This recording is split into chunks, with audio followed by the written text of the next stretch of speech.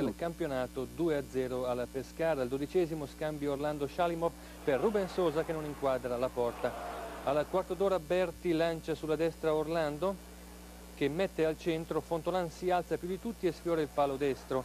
Al ventinovesimo il Pescara rischia l'autorete su questo cross di Ruben Sosa deviato da Alfieri. Un minuto dopo De Agostini lambisce il palo. E dopo tanto attaccare arriva il gol dell'Inter, scambio Fontolan-Ruben Sosa che dai 16 metri realizza la sua undicesima rete stagionale.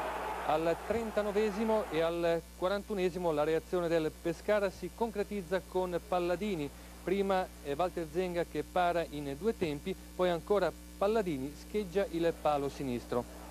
Passiamo alla ripresa, al quarto minuto Zenga salva il risultato sul colpo di testa di Borgonovo. Ancora il Pescara al sedicesimo, Allegri dai 25 metri sopra la traversa. Gli abruzzesi poi restano in 10 al 26esimo, Alfieri stende Orlando, lanciato a rete, cartellino rosso. Alla mezz'ora lungo lancio di Di Agostini per Schillaci che evita Marchioro ma colpisce solo il palo e al 34esimo Ruben Sosa chiude la gara, Orlando di te testa di Berti e al volo Ruben Sosa fa 2-0, dodicesima rete per lui.